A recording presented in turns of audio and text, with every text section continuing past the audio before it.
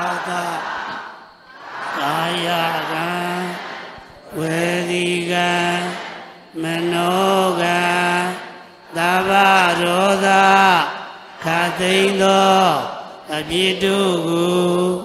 ရောက်ပါစေခြင်းအကျိုးငါပထမဒုတိယတတိယတစ်ကြိမ်နှစ်ကြိမ် သုံးကြိမ်မြောက်အောင်ဘုရားယရနာတရားယရနာသံဃာယရနာယရနာမြတ်သုံးပါးတို့ကိုအယူအသေးအလေးအမြတ်လက်ဆုံးမိုး၍ရှိကိုဘုသောဘုမျောမှန်လျှော့ကြောပါဤရှင်ဖျား သရှိကြမ်းမှစိတ်ချမ်းသာ၍လိုရာဆန္ဒပြေဝစေကြောင်းကောင်းမှုမင်္ဂလာဖြစ်ပါစေအလုံးငါဖယားမြတ်ဆုံးယရနာတရားမြတ်ဆုံးယရနာတန်ခါမြတ်ဆုံးယရနာယရနာမြတ်သုံးပါးတို့အား ယောသိမြတ်တို့လက်ဆုံမိုး၍ရှိခိုးပူဇော်ဖူးမြော်မှန်လျော့ကြောချသောတက္ကိသခါရဝပနာမကုသစေရနာဖြာဖြာတို့ကြောင့်ယနေ့အခါမှစ၍သက်ရှိခြင်းကြမ်းမာခြင်းခွန်အဗလာပြေဝခြင်းဉာဏ်ပညာကြီးခြင်းစရှိသောကောင်းကျိုးချမ်းသာမင်္ဂလာပေါင်းတို့နှင့်ပြည့်စုံကြပြီလင်နိဗ္ဗာန်ရောက်ကြောင်းသူတော်ကောင်းတို့၏ကျင့်တရားကိုကျင့်ကြံကြိုးကိုအားထုတ်နိုင်ကြကုန်သည်ဖြစ်၍ ဒုက္ခခတ်သိမ်းချုပ်ငြိမ်းရမှန်မြတ်နိဗ္ဗာန်သို့လင်းမြန်စောစွာကိုယ်စီကိုယ်ငှမျက်မှောက်ပြုလွယ်နိုင်ကြပါစေ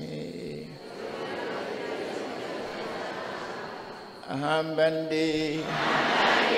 ဟိတရဏိနသဟာဣသသီလံ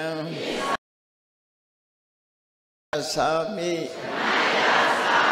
အနုဂဟံကတဝါ သီလံဒီထ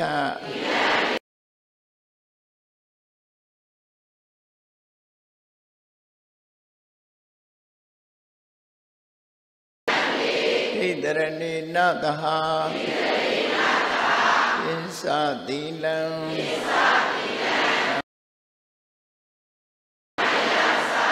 အနုဂဟံကတဝါသီလံဒီထဧ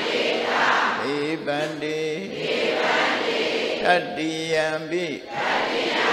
အဟံဗန္တိဣတရဏိနသဟာသတိလံသမယာသာမိအနုဂဟံကတဝါသီလန္တိထဧဗန္တိ ယမဟာဝဒာမိတံဝတိထမောတတဗကဝေတောအရဟတောသမ္မာသမ္ဗုဒ္ဓတ္တ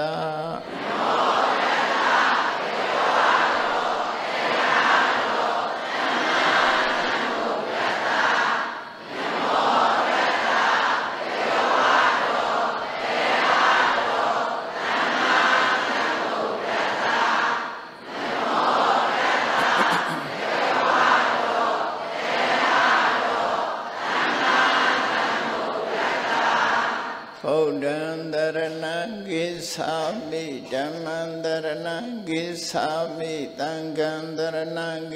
ာ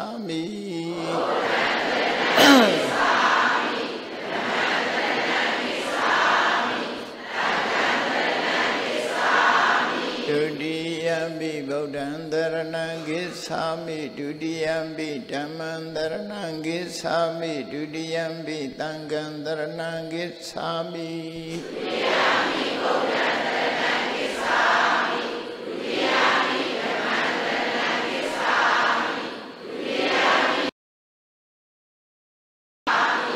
တတိယံပိဗုဒ္ဓံတရဏံကိသာမိတတိယံပိဓမ္မံတရဏံကိသာမိတတိယံပိသံဃံတရဏံကိသာမိတတိယံပိဗုဒ္ဓံတရဏံကိသာမိတတိယံပိဓမ္မံတရဏံကိသာမိတတိယံပိသံဃံတရဏံနကမနံပရိပုံဏံအာနာတိပါတာဝေရမဏိသိက္ခာပရံသမာဓိယမိအာ နာတိပါတာဝေရမဏိသိက္ခာပရံသမာဓိယမိ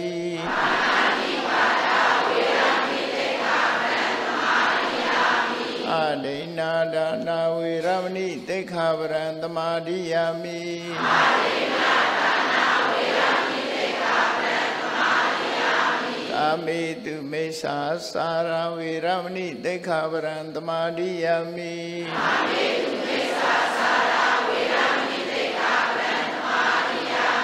မိဘုဒ္ဓဝါဒဝေရမဏိသိက္ခာပရံသမာဓိယမိဘုဒ္ဓဝါဒဝေရမဏိသိက္ခာပရံသမာဓိယမိသုရာမေရယပိစ္ဆပမာဒဌာနာဝေရမဏိသိက္ခာပရံသမာဓိယမိသုရာမေ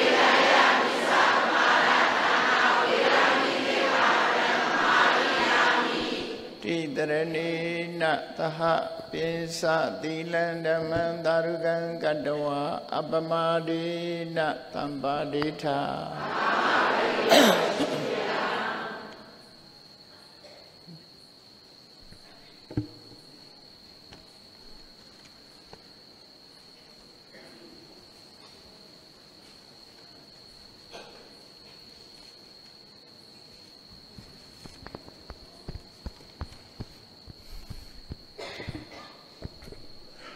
သနာတော်နှစ်2562နှစ်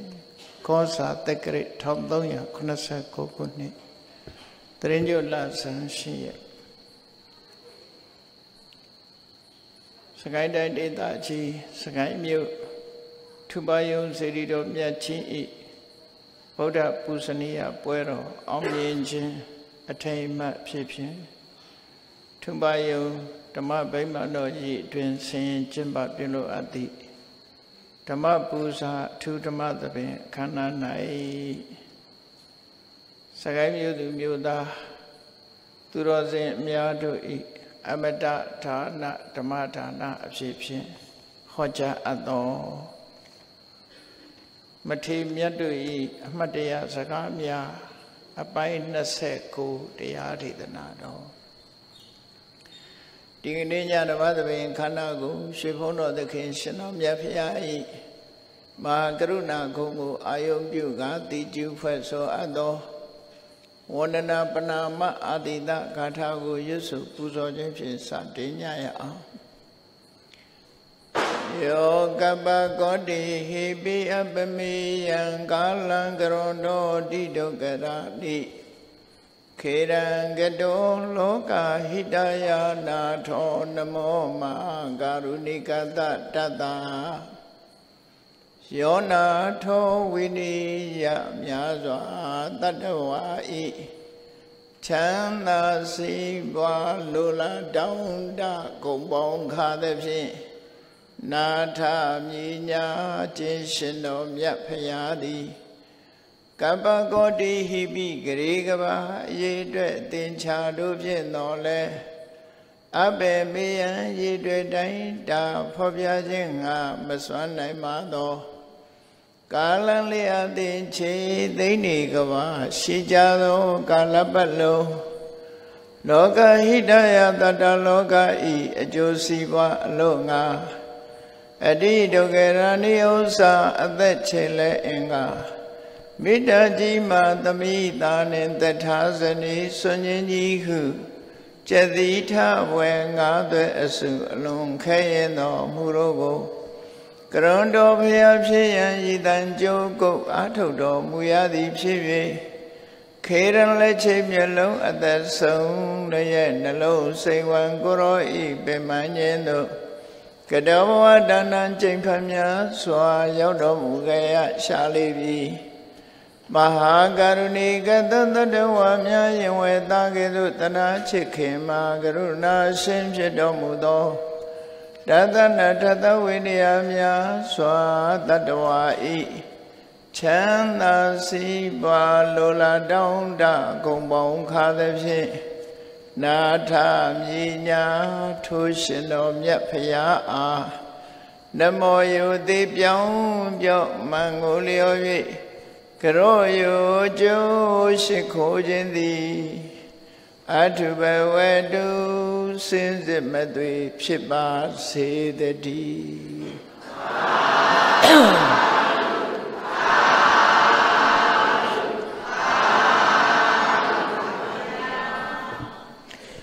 မထေမြတ်တို့ဤ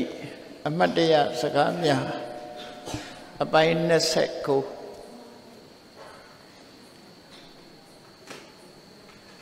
မြတ်ဗုဒ္ဓဟောကြားတော်မူခဲ့တဲ့ဆုံးမတရားတော်တွေကိုလက်တွေ့ကျင့်သုံးပြီးတရားသူတရားမြတ်ကိုရသွားကြတယ်မြတ်ဗုဒ္ဓဤသက်ရှိထင်ရှားတက်တော်ထင်ရှားရှိစဉ်ကာလကတပြေကြီးများဟာတရားဓမ္မနဲ့ပတ်သက်ပြီးတော့အမှတ်တရစကားတွေကိုပြောဆိုခဲ့ကြတာဖြစ်တယ်အဲ့ဒီအမှတ်တရစကားတွေဟာဘုန်းကြီးတို့တွေအတွက် ဘဝသင်္ကန်းစာများစွာဖြစ်ပါတယ်ဘဝသင်္ကန်းစာဖြစ်မှတ်ယူပြီးတော့ကိုယ့်ဘဝလမ်းကြောင်းမတိမ်ဆောင်းအောင်ထိန်းကျောင်းပြီးတော့ကျင့်ကြံကြိုးကိုအထောက်ကြဖို့ဟာအရေးကြီးတာမြတ်စွာဘုရားရဲ့အသိဉာဏ်နဲ့ဆုံးမဩဝါဒကိုယုံကြည်လက်ခံကြတဲ့ဘုရားဘာသာတွေအနေနဲ့တန်မြာနဲ့ကံတရားကိုလက်ခံထားကြတာဖြစ်တယ်။ တန်မြာဆိုတာဒီဘဝဒီခန္ဓာပြီးရင်နောက်ဘဝနောက်ခန္ဓာဆိုတာတွေကစင်စက်မပြတ်လက်ပတ်ပြီးတော့ဖြစ်ပေါ်နေတယ်။ထိုတန်မြာလက်ပတ်ခြင်းမှာကံနဲ့ကိလေသာလို့ဆိုတဲ့လူတွေရဲ့တဏ္ဍမှာဖြစ်နေတဲ့စိတ်ထဲမှာနော်တွေ့တာမှုတွေလိုချင်တတ်မဲ့မှုတွေမုန်းတီးမှုတွေဆိုတဲ့ဒီသဘာဝတရားတွေကကိလေသာထိုတွေ့တာမှုမုန်းတီးမှုကိုခြေခံပြီးတော့ အမှန်မသိမှုဆိုတဲ့ကိလေသာတွေအချိန်ခံပြီးတော့နှုတ်ဖြင့်ပြောဆိုခြင်းကိုယ်ရည်လျောက်ပြုလုပ်ခြင်းစိတ်ဖြင့်ကြံတွေးခြင်းဆိုတဲ့ကံတရားတွေလူတွေရဲ့တဏ္ဍမှာဖြစ်ပွားပြီးတော့နေ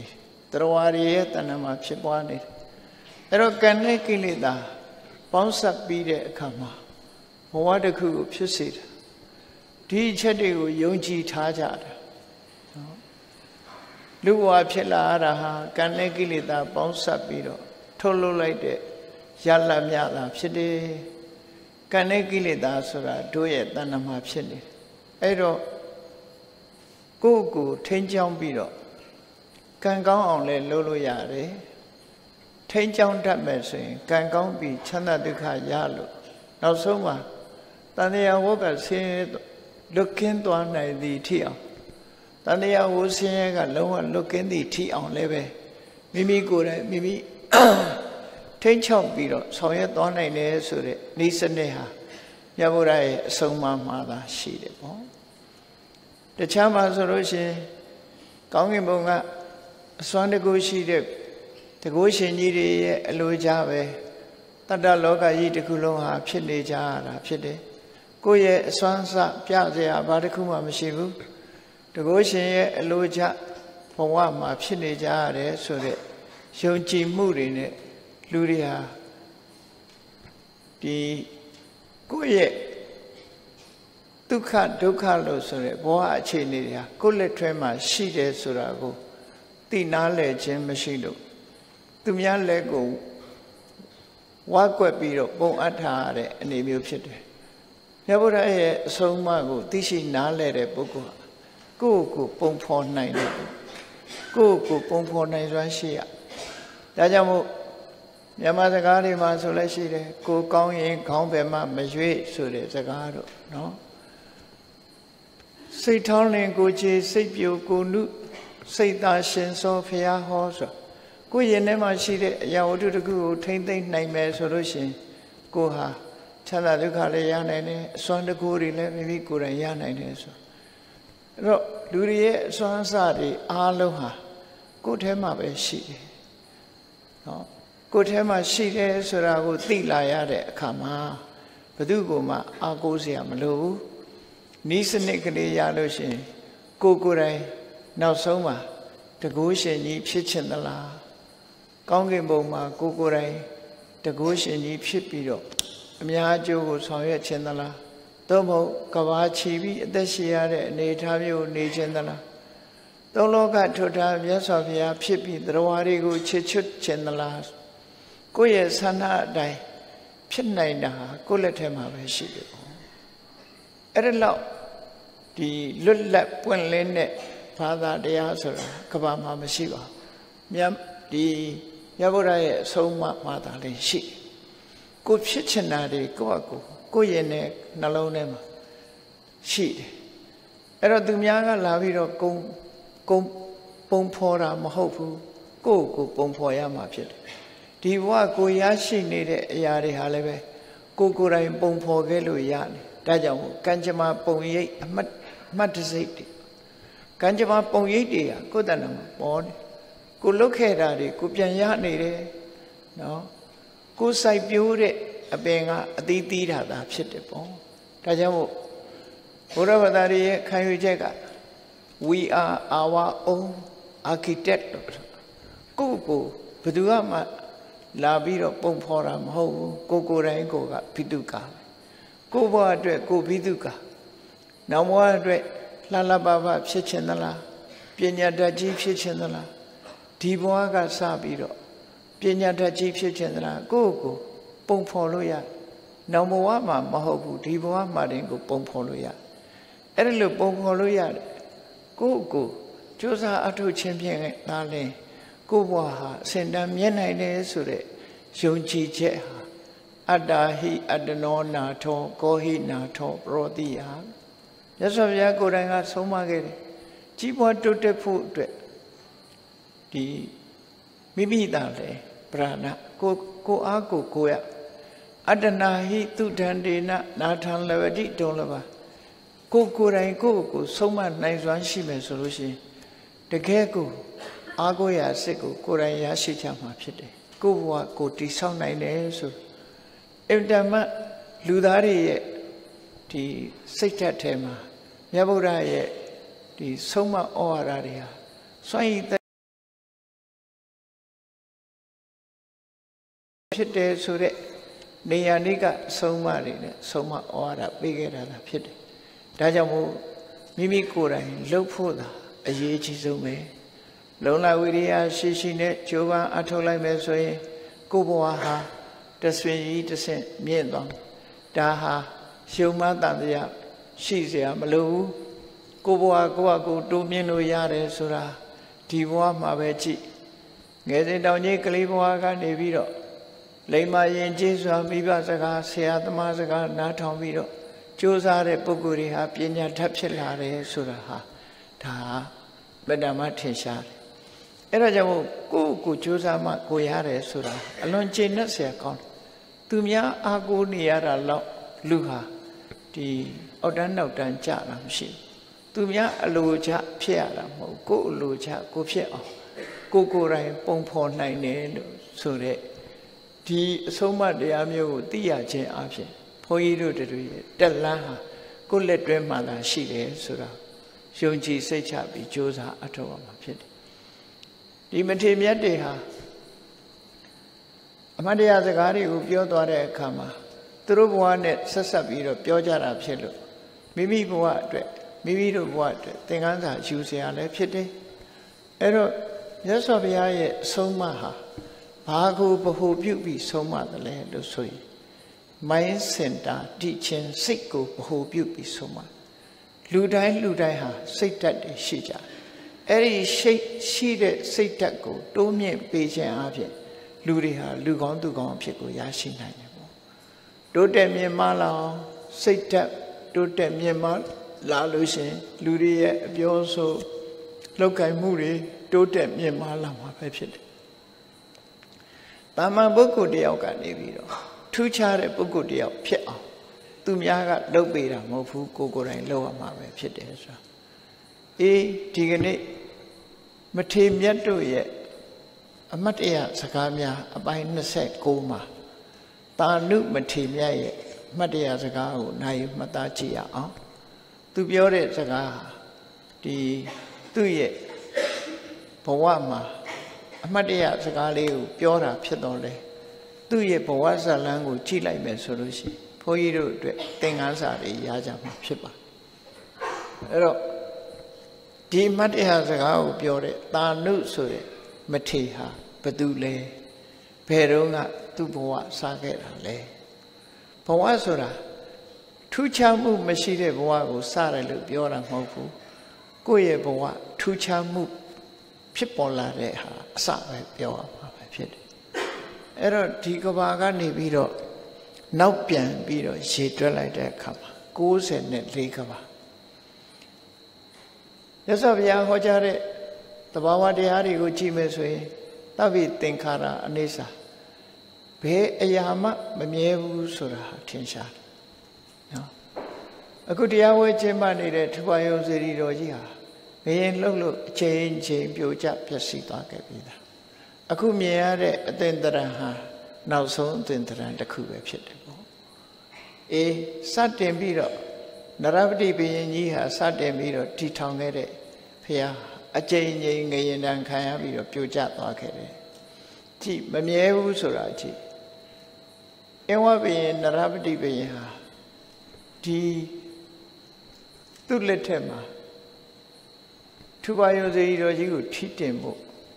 အင်းဝဘက်ကနေပြီးဒီစကိုင်းစိတ်ကန်းထိအောင်လှေဖောင်နေနဲ့ဆက်ပြီးတော့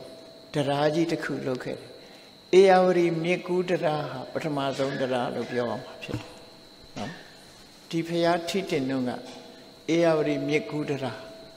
အဲ့ဒီမြစ်ကူးတရားတိဆောက်ပုံကတော့ဖောင်းနေပုံမှာဆက်ဆက်ဆက်ဆက်ပြီးတော့တင်ပြီးတော့လုပ်တဲ့ တရားမျိုးသားလည်းဖြစ်တယ်။အခုခေတ်ပြောတဲ့ပွန်တူဆိုတဲ့စိတ်ခံကြီးတွေပုံမှာပေါ့နော်။သူတို့ခေတ်ကလှေဖောင်ကြီးတွေခံပြီးတော့အဲ့ဒီလှေခေါင်ကြီးတွေပေါ်မှာပေါင်းကူးပြီးတော့ဆင်းနေမြင်းနေလျှောက်ပြီးတော့လာလို့ရအောင်တရားတစ်ခုတည်ဆောက်ခဲ့တယ်အဲ့ဒါမြန်မာသမိုင်းမှာအထင်ရှားရှိနော်မြန်မာသမိုင်းမှာအထင်ရှားရှိ အဲ့ဒီတရားကြီးကနေပြီးတော့ဒီထူပါရအဲ့တော့တီထောင်သွားတဲ့နရပတိဘုရင်ကြီးတဲ့တီထားကိုးကွယ်သွားတဲ့နရပတိဘုရင်ကြီးတဲ့မရှိတော့ဘူးစကိုင်းမျိုးနဲ့အင်းဝ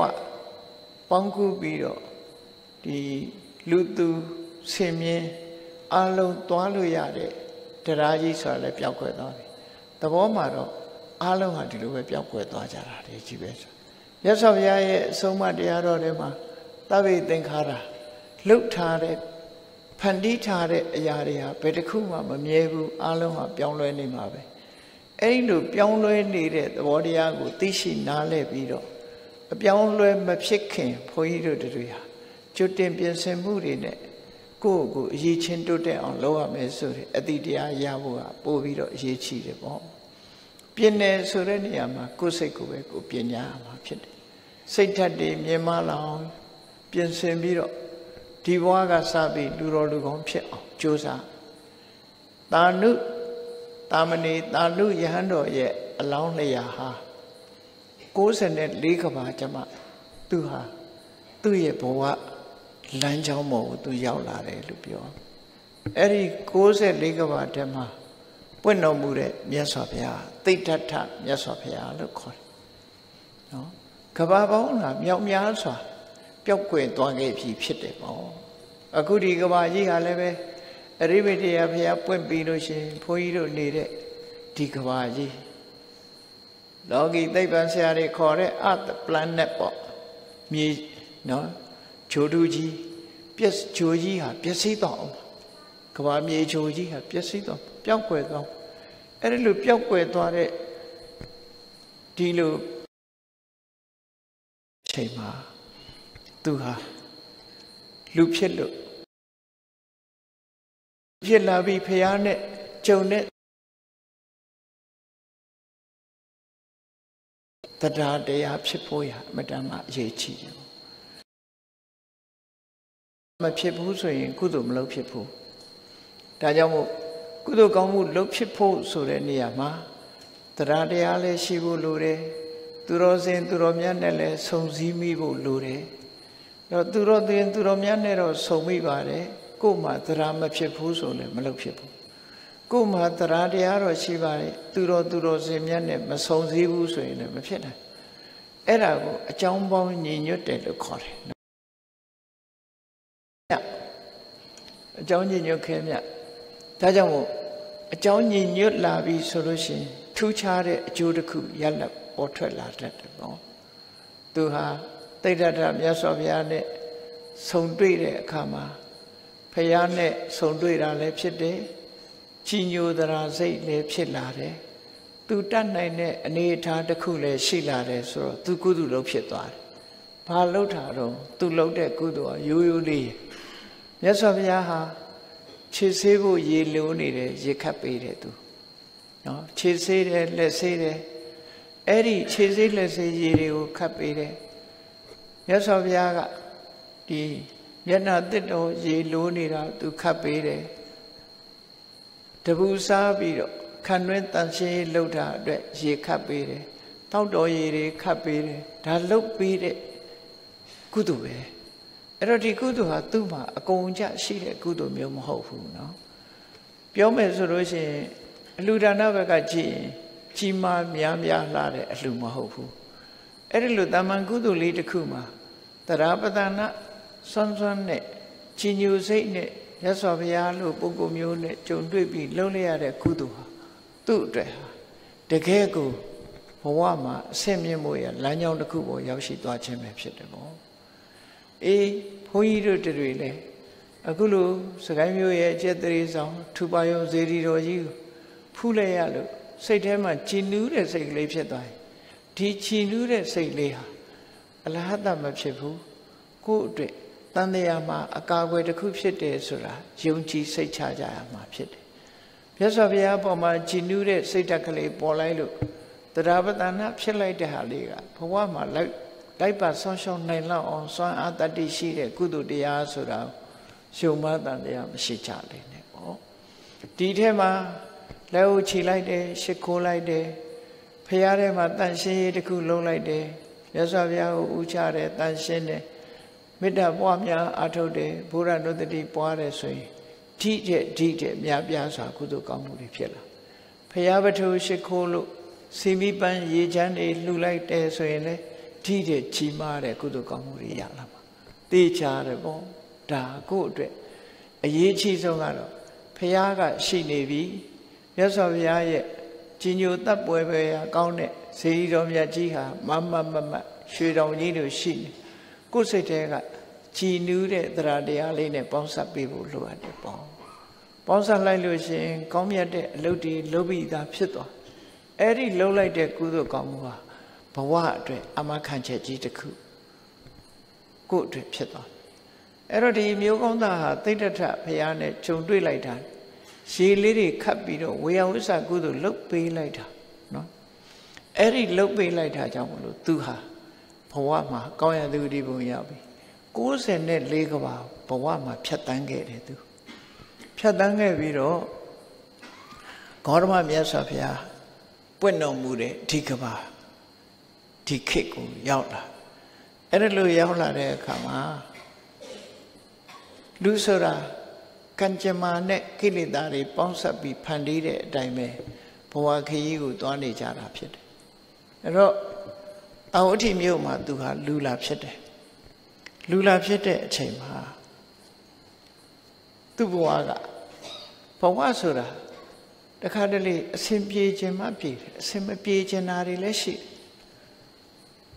အဲ့ဒီအချိန်လေးမှာဒီသူ့မိခင်နဲ့သူ့ဖခင်ပေါ့နော်သူကိုယ်ဝန်ရှိနေတဲ့အချိန်မှာသူ့ဖခင်ကတရက်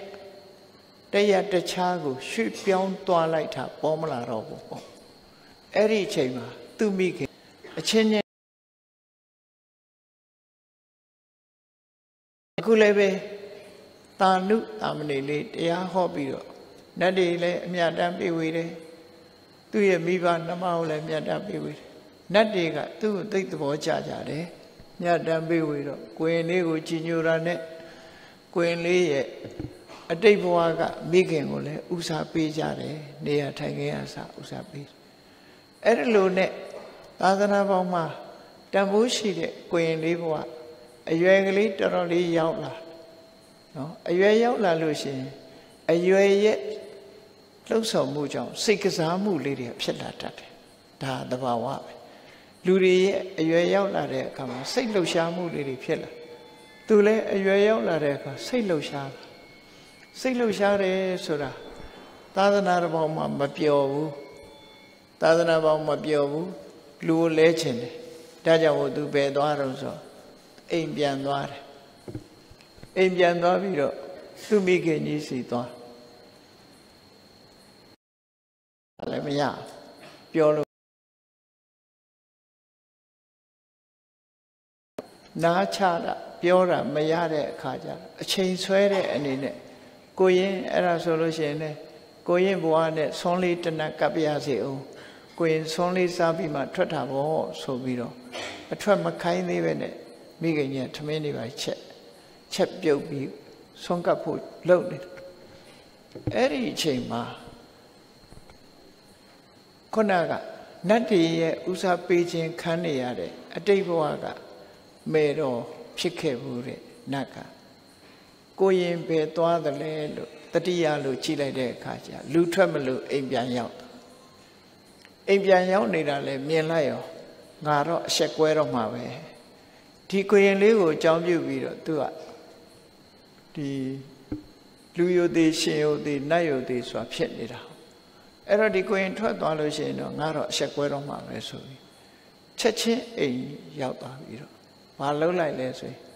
ဒီကိုရင်လေးကိုဝင်ပူးပြီးတော့စက်ကြီးလှည့်ထားလိုက်တာနော်နတ်ကဝင်ပူးပြီးတော့လှုပ်လိုက်တာလှုပ်လိုက်တဲ့အခါကျတော့တတိမိတ်မျောပြီးတော့ကိုရင်လေးဟာမျက်လုံးပြူပြီးပါဇက်ကြီးဟာပြီး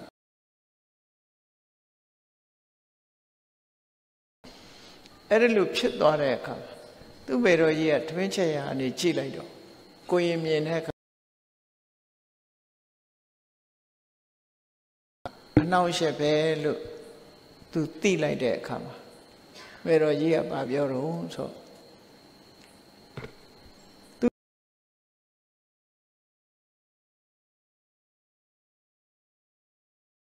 ဆောင်းလျှောက်တယ်နော်ရှစ်ပါးသီလဆောင်းလျှောက်တယ်အခါအားလျော်စွာ တည်ရက်တွေမှာသီလဆောင်းလျှောက်တဲ့ပုဂ္ဂိုလ်သူကတိုင်တယ်ပြီးတော့ဘာပြောတယ်လဲဆိုရင်လောကမှာသီလရှိတဲ့ပုဂ္ဂိုလ်တွေဥပုပ်ရှိတဲ့ပုဂ္ဂိုလ်တွေနဲ့နတ်တွေဟာဘယ်တော့မှမနှောင့်ယှက်ဘူးလို့သူကြားဘူးတယ်အခုတော့ဘာဖြစ်လို့သူစိတ်ညစ်အောင်သူ့သားသမီးကိုအခုလိုလာပြီးတော့နှောင့်ယှက်ရတယ်လေလို့သူကြားဘူးတဲ့စကားသီလရှိတဲ့ပုဂ္ဂိုလ်တွေ ဥပုပ်သေးတွေနဲ့နတ်ဟာဝင်ပြီးတော့နှောင့်ယှက်တာမျိုးမရှိဘူးလို့ဆိုတာအခုတော့ဘယ်သူကနေလာပြီးတော့နှောင့်ယှက်ရတယ်လေလို့ပြောတဲ့အခါမှာဒီဝင်ပူးထားတဲ့ခေါဏကသူ့ရဲ့မေတော်နတ်နတ်သမီးကဘာပြောသွားလဲလို့ဆိုရင်မှန်နေတဲ့သီလရှိတဲ့ပုဂ္ဂိုလ်ကိုမနှောက်ယှက်ဘူးဆိုတော့ဟုတ်ပါတယ် ဒါပေမဲ့လို့ဒီသူဟာနှောက်ယှက်ခြင်းလို့နှောက်ယှက်တာမဟုတ်ဘူးဒီတာနုဆိုတဲ့ကိုရင်လူထွက်မဲ့လို့ကြမ်းနေတယ်အဲ့ဒါကြောင့်မလို့သူတတိပေးတဲ့အနေနဲ့လှုပ်တာကိုရင်ပြန်တတိလာတဲ့အခါတတိတတိလဲလာပြီဆိုရင် ပြောလိုက်ပါမကောင်းမှု လူထွက်မဲ့တော့မကြံနဲ့မကောင်းတဲ့အလုပ်ကိုလုပ်မယ်လို့မကြံနဲ့ကောင်းငင်ပြန်တက်ပြေးလေသူ့လက်ကမလွတ်ဘူးသူဟာဒုက္ခပေးမှာပဲလုံးဝ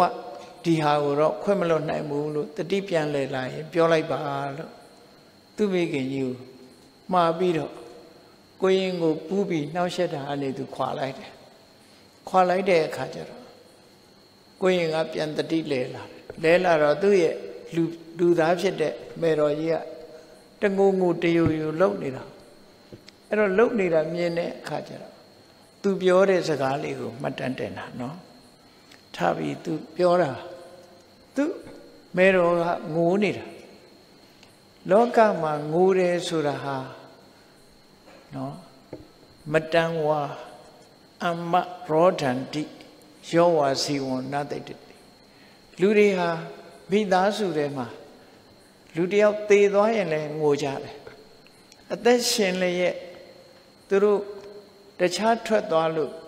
ပျောက်သွားရင်လည်းပဲငိုတတ်ကြတယ်အခုဟာသူဟာသေလည်းမသေးသေးဘူးပျောက်သွားသူလည်းမဟုတ်ဘူးလူကိုယ်တိုင်မြင်နေရရဲ့တန်းနဲ့သူ့ရဲ့မဲတော်ဟာဘာဖြစ်လို့ငိုရတယ်လဲဆိုဒီဒီစကားလေးကစပြီးသူအမှတ်တရစကားပြောတာနော် သူတတိလန်လာတယ်သူ့ကိုနတ်ကနေနှောက်ရှက်သွားတာ तू မသိလိုက်ဘူး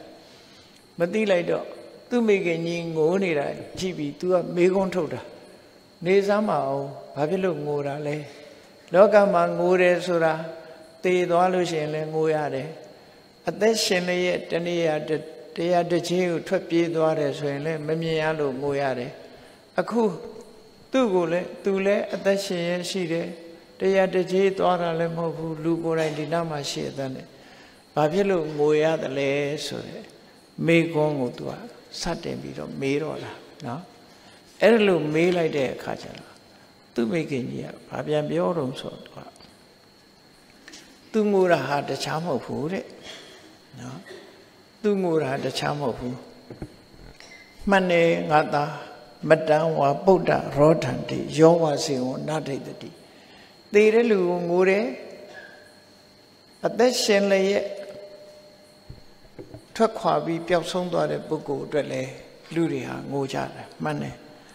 အခုဒီကာမဂုဏ်အာယုန်တွေကိုဆွတ်လွတ်ပြီးတော့သာသနာပေါင်းဝင်ပြီးရဟန်းခံပြီးတဲ့ပုဂ္ဂိုလ်တယောက်ဟာအိမ်ပြန်ရောက်လာပြီဆိုလို့ရှိရင်သာသနာပေါင်းမှာမြင့်မြတ်တဲ့ဘဝကနေပြီးနှိမ့်ချတဲ့ဘဝပြန်ရောက်လာတာ အဲ့ဒီလိုဖြစ်လို့လည်းပဲငိုရပါတယ်လို့မိခင်ကြီးကသူငိုခြင်းအကြောင်းထည့်ပြီးတော့ပြောတာနော်တံဝါပိပုဒ္ဒရောဒန္တိအဲ့ဒီလိုဖြစ်တာကိုလည်းပဲကိုသားသမီးဒီလူထွက်တယ်ဆိုရင်ယူချုံမရဖြစ်တယ်ဘုန်းကြီးတို့မေတော်ကြီးကယဟန်9ပါးထိအောင်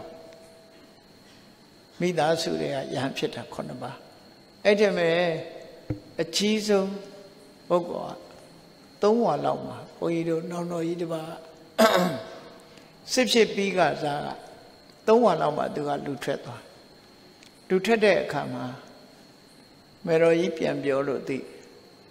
ဦးစင်းလူထွက်တယ်လဲကြားရောအိမ်ကနေပြီးတော့ကြောင်းကိုပြေးတာမြေကြီးနဲ့ခြေတော့ထိတဲ့ကိုမထင်ဘူးနော်ကြောင်းရောက်သွားသည်ထိအောင်ပြေးသွားတာ အဲ့ဒီလိုတောကကြောင့်ဖြစ်သွားတာပြောတာနော်အဲ့ဒီလိုဖြစ်ဖူးတယ်ဆိုတာကိုသိရတယ်ပေါ့အဲ့တော့လောကမှာအခုလည်းပဲတာနုရဲ့မေတော်ကြီးဟာသူ့သားလေးလူထွက်တော့မယ်ဆိုတဲ့အခါမှာသူဟာရှူချုံမရငိုတာအဲ့ဒီကာမဂုဏ်အာယုန်နေစွန့်ပြီးရဟန်းဘဝရောက်ပြီးမှပြန်လှည့်လာတယ်ဒါအတွက်သူငိုတာပါလို့အဲ့ဒါလို့ပြောတယ် ဒါအတွက်ငိုတာပါဆိုပြီးတော့သူ့သားကိုတိုက်တွန်းတယ်ငါသားရဲ့အပူရဲကထွက်လာပြီးတော့မှဘာဖြစ်လို့အပူရဲပြန်သွားချင်တာလဲသာသနာပေါင်းဆိုတဲ့အေးချမ်းတဲ့ဘဝကိုရောက်ပြီးတော့မှဘာဖြစ်လို့အပူဘက်ကိုပြန်လာချင်တာလဲ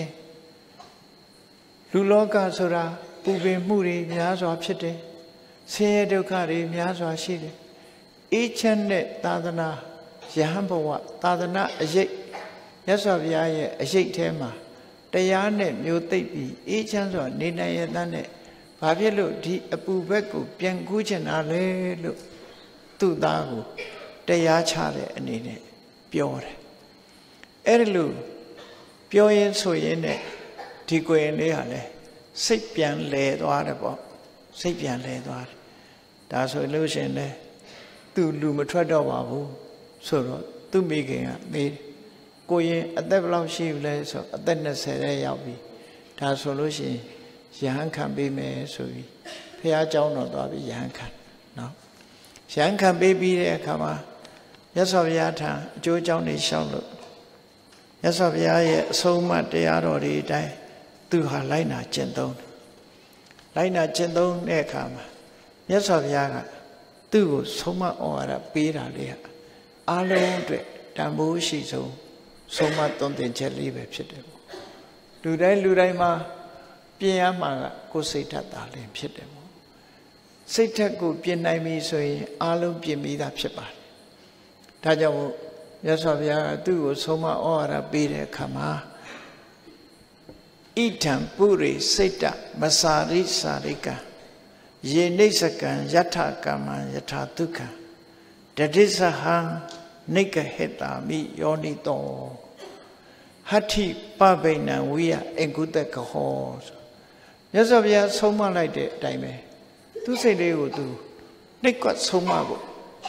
မြတ်စွာဘုရားကကိုယ်စိတ်ကိုဆုံးမရမယ်စိတ်တန်ဒန်တန်ဒုက္ခဝဟကိုဆုံးမလိုက်လို့ငြိမ်ဝတ်သွားပြီဆိုလို့ရှိရင်ဒီစိတ်လေးဟာကောင်းကျိုးချမ်းသာတွေကိုကိုယ်ဖြစ်ပေါ်စေပါဆို စဉ်းစားကြည့်လေလူတွေဟာဒီအာယုန်တစ်ခုနဲ့တွေ့တဲ့အခါမှာစိတ်ပူစရာအာယုန်ကိုတွေးမိရင်စိတ်ကပူတာပဲစိတ်ချမ်းသာစရာတွေးမိလို့ရှိရင်လည်းစိတ်ကချမ်းသာတာအဲ့တော့ပူစရာအာယုန်နဲ့နေရင်ပူပြီးတော့ချမ်းသာစရာအာယုန်နဲ့တွေ့ရင်ချမ်းသာတယ်ဆိုတော့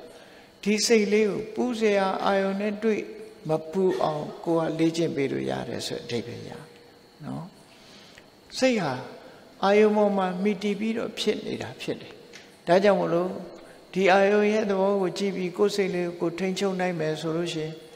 လူတွေဟာကိုယ့်ကိုယ်အားလုံးထိန်းချုပ်ပြီးသားဖြစ်သွားတယ်စိတ်ကိုမထိန်းချုပ်နိုင်သည့်အတွက်ကြောင့်အပြောမှားတာတွေအလုံမှားတာတွေဖြစ်တယ်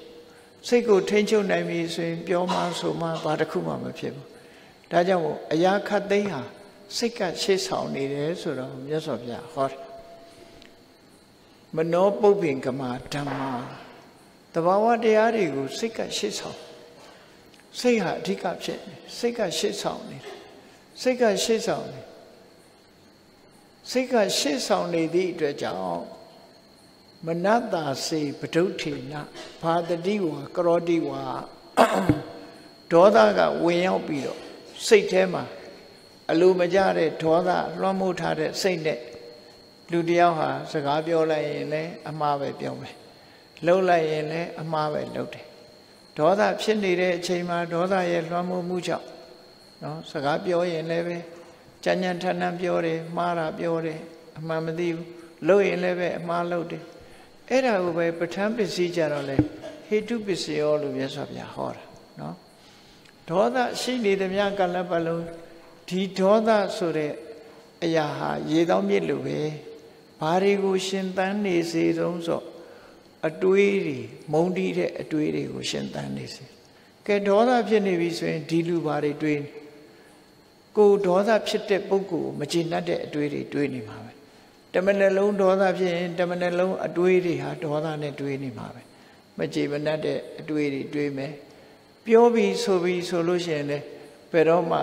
ရှင်ရင်ကြေးကြေးတိမ်တိမ်မွေ့မွေ့ပြောမှာမဟုတ်ဘူးဒေါသ ထွက်နေတဲ့ပုဂ္ဂိုလ်တယောက်ဟာရိုင်းရိုင်းဆိုင်ဆိုင်ကြမ်းကြမ်းထန်ထန်ပြောမှာပဲဖြစ်တယ်။သွားတဲ့လာတဲ့အခါမှာလည်းပဲကြည့်ဒေါသဖြစ်နေတဲ့လူတယောက်ဟာညင်ညင်သာသာသွားတာမဟုတ်ဘူး။ဆောင်းအောင်ပြီးတော့သွားတာ။ဒါဟာဒေါသဖြစ်နေခြင်းကြောင့်ဖြစ်ပေါ်လာတဲ့စိတ်တစားယုတ်တွေပဲ။အဲ့ဒါကိုပြောတာ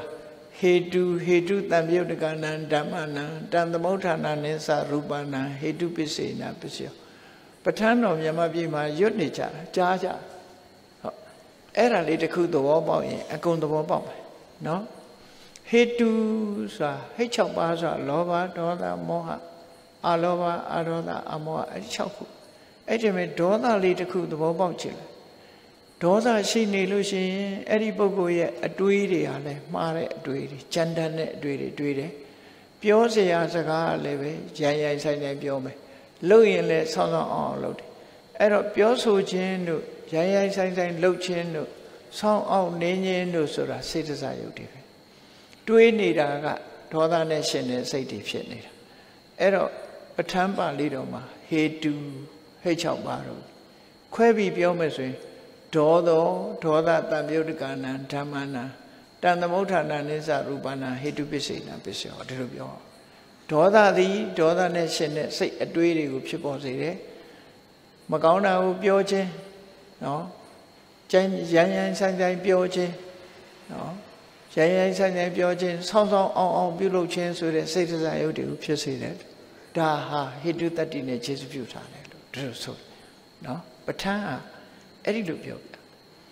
အဲဒေါသလည်းပြေသွားပြီဆိုအဲ့ဒါတွေရှိသေးလားဒေါသပြေသွားတာနဲ့တပြိုင်နက်လူဟာ ဒီအတွေးတွေမတွေးတော့ဘူးပြောရင်လည်းညင်ညင်သာသာပြောလာတယ်လို့ရင်လည်းဆောင်းဆောင်းအောင်မဟုတ်တော့မပြေမချင်းကတော့ခုနပုံစံပဲအဲ့တော့ပြေသွားလိုက်တာနဲ့တပြိုင်နက်မေတ္တာသက်ဝင်လာပြီဆိုတဲ့အခါကျကြတော့ဒါလည်းဟိတုတ္တိကခြေစုပြုပြတာပဲဒီသဘောကိုမြတ်စွာဘုရားပဋ္ဌာန်းမှာဟောတာနော်ပဋ္ဌာန်းမှာဟောအဲ့တော့အကြောင်းမဲ့ဖြစ်တာမဟုတ်ဒါကြောင့်မို့လို့ဒီ စိတ်တစ်ခုရဲ့သဘာဝအနေအထားတွေကိုအဘိဓမ္မာသင်ကြားခြင်းဖြင့်လေ့လာသဘောပေါက်ဖို့လိုအပ်တယ်ပေါ့သင်ထားတဲ့အဘိဓမ္မာသဘောတရားအရသင်ကိုယ့်ရဲ့စိတ်ဓာတ်အနေအထားတွေကိုသဘောပေါက်မယ်ဆိုလို့ရှိရင်မြတ်စွာဘုရားရဲ့အဆုံးအမတရားတော်တွေကပို့ပြီးကိုယ့်ဘဝမှာအထိပ္ပယ်ရှိတဲ့ဆုံးမတရားတွေပဲဖြစ်လာမှာဖြစ်တယ်ပေါ့နော်အခုမြတ်စွာဘုရားကစိတ်ကို ကိုယ်စိတ်ကိုနိုင်အောင်ဆုံးမဖို့စိတ်ကိုမနိုင်သည့်အတွက်ကြောင့်ကိုရင်သာနုကလူထွက်ဖို့သွားတဲ့အနေအထားတစ်ခုရောက်သွားတယ်ကိုယ်စိတ်ကိုနိုင်နှင်းလိုက်တဲ့အခါအာသနာပေါင်းမှာပြန်ပြီးတော့ပြောလာတဲ့သဘောဖြစ်တယ်ပြောတယ်ပြင်းတယ်ဆိုတာစိတ်နဲ့ပတ်သက်လာတဲ့သဘောပဲအေးအဲ့ဒါကိုမြတ်စွာဘုရားကဆုံးမဩဝါဒပေးတယ်ဣဒံစိတ်တံ ပုရိဣဒံပုရိစိတ်တံမစာရိစာရိကံတော့အရာခတ်သိမ်းဟာစိတ်ကရှေ့ဆောင်နော်စိတ်ကရှေ့ဆောင်ပြောတော့မယ်ဆိုရင်လည်းစိတ်ကစိတ်ထဲမှာအရင်ပေါ်လာတာလှုပ်တော့မယ်ဆိုရင်လည်းစိတ်ထဲမှာအရင်ပေါ်လာအဲ့တော့မပြောခင်စိတ်ကအရင်ဖြစ်လာမလှုပ်ခင်လည်းစိတ်ကအရင်ဖြစ်လာဒါကြောင့်မို့လို့အဲ့ဒီစိတ်လေးဟာကောင်းမြတ်တဲ့ အခြေအနေတွေနဲ့ပေါင်းစပ်ထားတဲ့စိတ်ဆိုလို့ရှိရင်ပြောတာဆိုတာလှုပ်တာကိုင်းတာတွေဟာအကောင်းဖြစ်တယ်အကယ်၍စိတ်ဟာမကောင်းတဲ့လောဘတွေဒေါသတွေမောဟတွေနဲ့တွဲလာပြီဆိုရင်မကောင်းတဲ့အပြောမကောင်းတဲ့အတွေ့မကောင်းတဲ့အလုပ်တွေပဲဖြစ်လာအဲ့တော့မကောင်းတာလုပ်ပြီးဆိုလို့ရှိရင်တတောနံဒုက္ခမနွေတိဆင်းရဲဒုက္ခတွေကိုယူလာမှာလောက်ရကဆင်းရဲဒုက္ခကိုယူလာကောင်းတာလုပ်ပြီးဆိုရင်တတောနံဒုက္ခမနွေတိ ချမ်းသာဒုက္ခတွေသူ့နောက်ကကြောင်းကျိုးဆက်ပြီးတော့ပါလာတာဒါသဘောတရားပဲเนาะလူတွေရဲ့ဒီခုခေတ်ပြောတဲ့ psychology ဆိုတာတွေတဲ့မြတ်စွာဘုရားရဲ့ psychology ကပို့ပြီးတော့ပြည့်စုံကိုယ့်ကိုဆင်ញင်သုံးသပ်ချိစိတ်ကိုဒီလိုတွေးလို့ရှိရင်ဒေါသဖြစ်တယ်ဟိုလိုတွေးလို့ရှိရင်ဒေါသမဖြစ်ပြန်ဘူးအဲ့တော့ဒေါသမဖြစ်တဲ့အတွေးကိုတွေးခြင်းသည်ယောနိသောမနတိကာရလို့ခေါ်တယ် မကျေနပ်တဲ့အတွေ့ကိုဆက်မတွေးနဲ့ကျေနပ်စရာကောင်းတဲ့ဘက်ကဆက်တွေး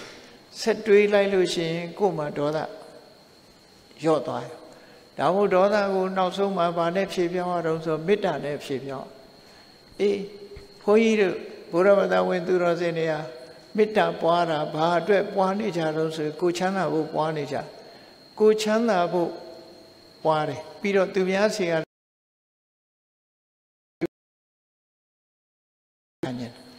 တကယ်ကတော့မြတ်စွာဘုရားဟောတဲ့တရားကအဲ့ဒါလို့မဟုတ်ဘူးဘုရားဟောတာကဘာတော့မေတ္တာဘာဝေတ္တဘာဒေါသတပဟာနာယကိုယ့်ရင်ထဲမှာရှိတဲ့အမုန်းတရားကိုဖယ်ရှားပစ်ဖို့မေတ္တာပွားရမယ်လို့ပြောတယ်သူ့ရဲ့ပြစ်မှတ်ကရင်ထဲကရှိတဲ့အမုန်းတရားပဲအဲ့တော့မေတ္တာပွားတာဟာကိုယ့်ရင်ထဲကမုန်းတာပျောက်ဖို့ပွားတာနော် ဆေးစားတာဘာအတွက်စားခေါင်းကိုက်လို့ဆေးတောက်လို့ရှိရင်ခေါင်းကိုက်တာပျောက်ချင်တာမဟုတ်လားဘိုင်းနာလို့ဆေးတောက်ရင်ဘိုင်းနာပျောက်ဖို့တောက်တာပဲမဟုတ်လားအဲ့ဒါလို့ပဲအမုန်းတရားပျောက်ဖို့အတွက်မေတ္တာပွားရမှာအဲ့ဒါလို့မဟုတ်ဘဲနဲ့ချမ်းသာခြင်းလို့ပွားတယ်ဆိုရင်ဒါမဟုတ်သေးဘူးเนาะပြစ်မှတ်မဟုတ်ဘူးမေတ္တာရဲ့ပြစ်မှတ်ကမေတ္တာနဲ့ခြေဖြဲရမယ့်အရာကအမုန်းတရားပဲဖြစ်တယ်အဲ့တော့ဘသူကိုမုန်းတယ်ဘယ်ဝါကိုမုန်းတယ် အမုန်းတရားကိုယ့်ရင်ထဲမှာရှိနေတယ်ထိခနဲ့ဆိုဒေါသဖြစ်တယ်အဲ့ဒါလို့မဖြစ်ရအောင်ဘာလို့အောင်ရှင်ထဲမှာမေတ္တာအပြည့်ဖြစ်အောင်ကြိုးစားထားလို့ရှိအတော်ရော့ဒေါသမဖြစ်တော့အဲ့ဒီဒေါသမဖြစ်မှကိုယ့်ရဲ့မေတ္တာရဲ့အောင်မြင်မှုကရမှာဖြစ်တယ်။ဒါကြောင့်မို့ကိုယ့်ရဲ့ဒီမေတ္တာဘာဝနာပွားခြင်းရဲ့အကျိုးကျေးဇူးမေတ္တာဘာဝနာပွားခြင်းရဲ့ရည်ရွယ်ချက်မှန်ကန်မှုလိုအပ်တယ်။ မမှန်ကန်မှသာလင်အကျိုးသက်ရောက်မှုကထိရောက်မှာဖြစ်တယ်ပေါ့ကိုဘာအတွက်မေတ္တာပွားတာတော့ဆိုရင်ဒေါသကိုဖယ်ရှားဖို့မေတ္တာပွားတာဖြစ်တယ်ဒေါသကတန်လန်းချမ်းသာခြင်းနာကတခြားဖြစ်နေတယ်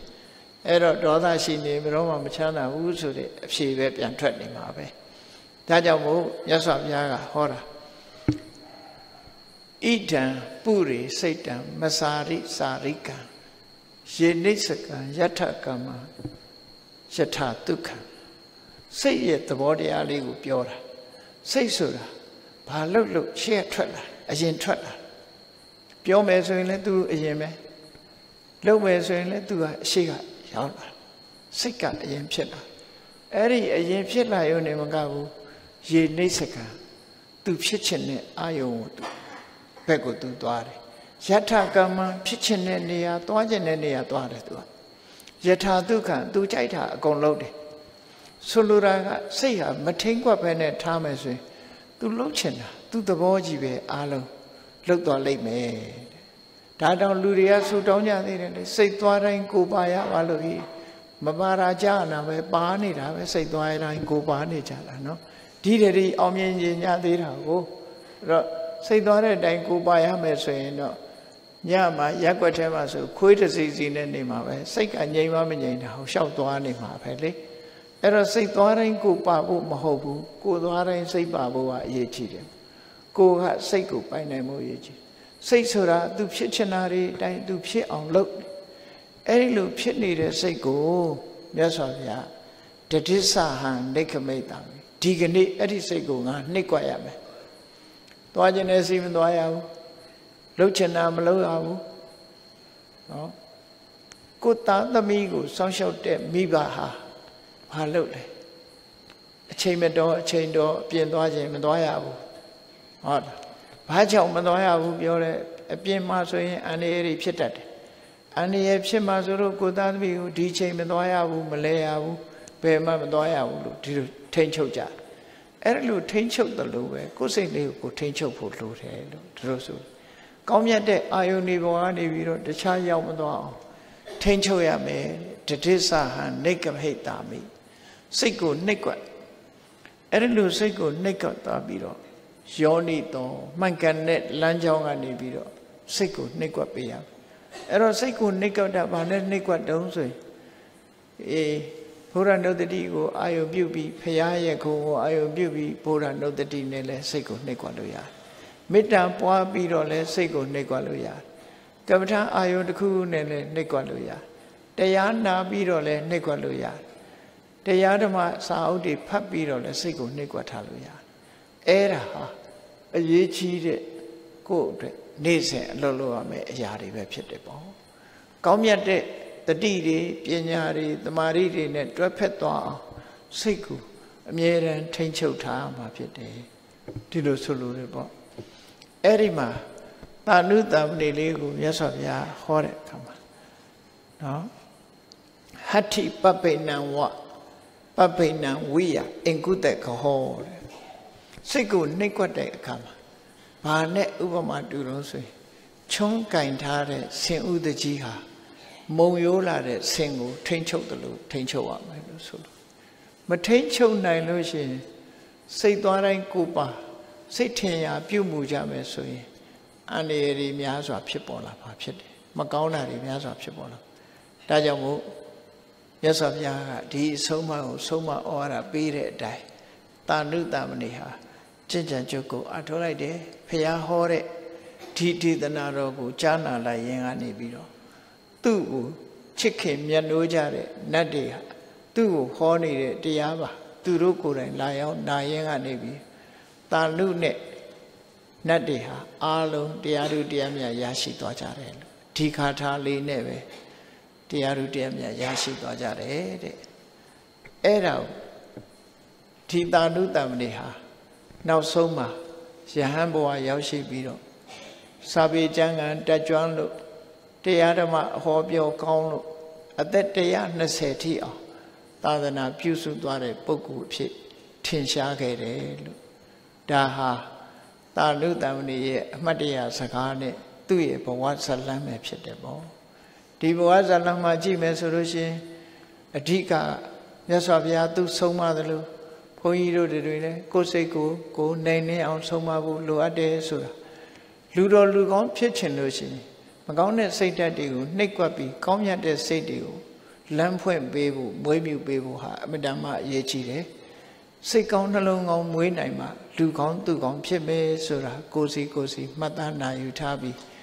ကိုယ့်လက်တွဲမှာရှိတဲ့စိတ်ကိုမိမိတို့ကိုယ်တိုင်ပြုပြင်ကြရမှာဖြစ်လို့ကြိုးစားအားထုတ်နိုင်ကြပါစေကုန်တည်း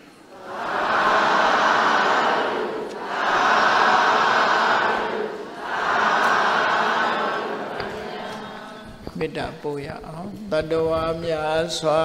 တတဝါများစွာဖေးရန်กว่า ဖေးရန်กว่าချမ်းသာကြပါစေချမ်းသာကြပါစေတတဝါများစွာတတဝါများစွာဖေးရန်กว่าဖေးရန်กว่าချမ်းသာကြပါစေချမ်းသာကြပါစေမေတ္တာရေချမ်းမေတ္တာရေချမ်းသုံးငါဖြံသုံးငါဖြံငြိမ်းချမ်းကြပါစေငြိမ်းချမ်းကြပါစေ မေတ္တာရေချမ်းမေတ္တာရေချမ်းသုံးငါဖြံသုံးငါဖြံငြိမ်းချမ်းကြပါစေငြိမ်းချမ်းကြပါစေသက်ရှိကြမ်းမာသက်ရှိကြမ်းမာစိတ်ချမ်းသာစိတ်ချမ်းသာလူရဆန္ဒပြေပါစေလူရဆန္ဒပြေပါစေသက်ရှိကြမ်းမာသက်ရှိကြမ်းမာစိတ်ချမ်းသာစိတ်ချမ်းသာ လူရဆန္ဒပြေပါစေလူရဆန္ဒပြေပါစေဟောလန္တဒုက္ခပင်ကစားမေတ္တာပုံနေတုသင်္ကမမနောတရတိတဗ္ဗေတံပဝယန္တုဒုက္ခနကမေတ္တာပုံနေတုသင်္ကမစုပေါင်းပုအပ်မေတ္တာတဟုရောင်ပြူပါဝင်ငွေလာမင်းနှင့်ရောင်ခြင်းရှဲယုံပေါင်းဆုံးရအခြင်းကြောင့် တဗ္ဗေတံကျွင်းမဲ့ဥတုံလုံးစုံများစွာတတ္တဝါတို့ဤမနောတရတိမြမြဖြူစင်အေးကြည်လင်းသည့်ရေစင်ပြည့်တင်းစိတ်နှလုံးတည်ဟုသော ရေအိုင်ကြီးအတွင်၌ဒုက္ခပင်ကသာစင်ထာဝရအေးမြကြည်သာတာယာပွင့်လန်းချမ်းသာဒုက္ခအတိဟုသော ကုမုဒ္ဒရာကြာပန်တို့သည်ဟောလန္တဝန္တာရွှေမြူဝမုံလူလျက်ကြည်နူးဝဲကြုံဖူးပွင့်ညကောင်းသည်ဖြစ်၍ သူကန္နကလေးအောင်လေးတဲ့ရောရှက်သင်ပြန်ပီတိတိဟုသောယနန်တို့သည်ပဝါယံတုကောင်းစွာမသွေကြိုင်လည်၍နေကြပါစေကုန်တည်း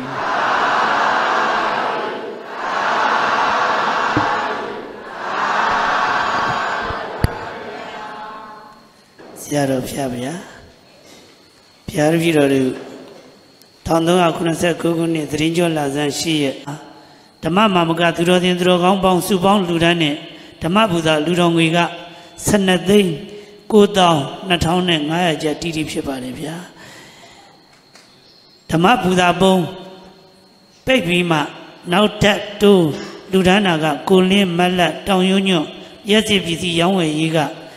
ဓမ္မဘုရားလူတော်ငွေတသိန်းကျပ်တီတီဖြစ်ပါတယ်စုစုပေါင်း 38သိန်း1,000 900ကျပ်တီတီဖြစ်ပါတယ်ဆရာကြီးဥသောဝင်းကနေပြီးတော့လူဒန်းပေးပါရန်ဆရာတော်ဘုရားကြီးရဲ့ကပ္ပိယကာရကမှာလက်ခံပေးပါရန်ယူသည်လေးသားစွာပန်ကြားအပ်ပါတယ်ခင်ဗျာဆရာဥသောဆရာဥသောနိုင်ကနေပြီးတော့လက်ခံပေးပါရန်ယူသည်လေးသားစွာပန်ကြားအပ်ပါတယ်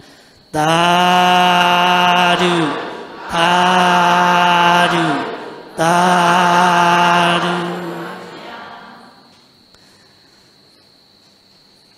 ဆရာတော်ဘုရားဗျာလူဒမ်းမှုစုစုကိုရေသက်သွန်းချမျှဝေပေးပါရန်ယူသည်လေးမြတ်စွာခြေတော်ဥခရောက်ထအပ်ပါတယ်ရှင်သူမြတ်ဘုရား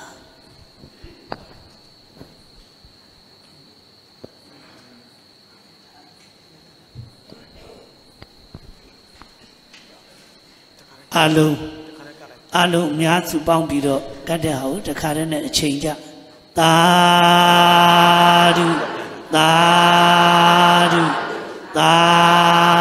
ဓုသင်္ကန်းကျော်လုံးလူဒန်းတာတွေကိုစူပေါင်းပြီးကတ်ချင်းဖြစ်ပါတယ်သာဓုသာဓုသာဓု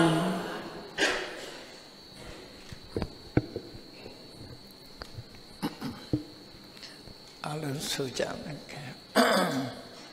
အရှင်ဖယားရှင်ဖယားရာဒဝိတော်တို့သည်ဓမ္မအတိညာဓမ္မအတိညာရာရှိမသာလင်ရာရှိမသာလင်နိဗ္ဗာန်ချမ်းသာကိုနိဗ္ဗာန်ချမ်းသာကိုမျက်မှောက်ပြုနိုင်ပါသောကြောင့်မျက်မှောက်ပြုနိုင်ပါသောကြောင့်ဓမ္မအတိညာ ရရှိစေရန်ရရှိစေရန်ရှိတန်ကြလျက်ရှိတန်ကြလျက်ဓမ္မသဘင်ဓမ္မသဘင်ဆင်ကျင်ပါဆင်ကျင်ပါပြုလုပ်ကြ၍ပြုလုပ်ကြ၍အမတဒါနာဓမ္မဒါနာဓမ္မဒါနာတရားအလှတော်ကိုတရားအလှတော်ကိုပေးလူကြပါကုန်၏ပေးလူကြပါတ ရားတော်မြတ်ကိုတရားတော်မြတ်ကိုယုတိလေးမြတ်စွာယုတိလေးမြတ်စွာမမတ်သာသာမမတ်သာသာအာယုန်ထားလျက်အာယုန်ထားလျက်နာကြားကြပါကုန်၏နာကြားကြပါကုန်၏တရားတော်မြတ်ကိုတရားတော်မြတ်ကိုသတ္တဗဝုထုအစွစုတို့ဖြင့်အစွစုတို့ဖြင့် ပူဇော်ကြပါကုန်၏ယနေ့ယခုအာထုံပြုလို့ကြာရသောတရားဟောရခြင်းဓမ္မဒေသနာတရားနာရခြင်းဓမ္မတဝနာတရားတော်ကိုပေးလူရခြင်း ဓမ္မဒါနာတရားတော်ကိုပူဇော်ရခြင်းဓမ္မပူဇာကုသိုလ်စေရနာဖြာဖြာတို့သည်ဒုက္ခခတ်သိချုပ်ငြိမ်းရမံယနိဗ္ဗာန်ဤအကြောင်းထောက်ပံ့ ဖြစ်ပါစေသာဖြစ်ပါစေသာရှင်ဖယားရှင်ဖယားဤကောင်းမှုဤကောင်းမှုဤဖို့ဘာကကိုဖို့ဘာကကိုအမိအဖာအမိအဖာအဖို့အဖွာအဖို့အဖွာဆရာသမားမစ၍ဆရာသမားမစ၍ကဘာသူကဘာသာကဘာသူကဘာသာလူနတ်မြမလူနတ်မြမ တတဝမြာတို့အားတတဝမြာတို့အားအမြအမြအမြအမြဝေငှပါကုန်၏ဝေငှပါကုန်၏ကုသိုလ်အမြကုသိုလ်အမြဘုရားရကြကုန်သည်ဖြစ်၍ဘုရားရကြကုန်သည်ဖြစ်၍ကိုယ်စိတ်နှဖျားကိုယ်စိတ်နှဖျားချမ်းသာကြသည်ချမ်းသာကြသည်ဖြစ်ကြပါစေကုန်သတည်းဖြစ်ကြပါ အားလုံးကြာကြသမျှအမြအမြအမြယူတော်မူကြပါကုန်လောသာဓုသာဓုသာဓုအားလုံးကြာကြသမျှအမြအမြအမြ